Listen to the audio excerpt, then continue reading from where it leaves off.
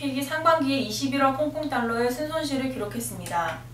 캐세 패시픽은 17일 항공사들 간의 경쟁 심화와 유가 상승 등이 실적 악화의 배경이라고 밝혔습니다.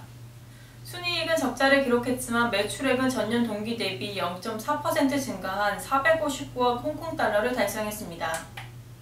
상반기 역외 운송 매출은 322억 홍콩 달러로 전년 동기 대비 3.9% 감소했습니다. 화물 매출은 활발한 수요로 인해 증가했는데요. 운송 총 톤수는 화물 수용 능력보다 빠르게 증가해 상반기 화물 매출은 105억 홍콩달러로 작년 동기 대비 12% 상승했습니다. KSG 뉴스 정지입니다.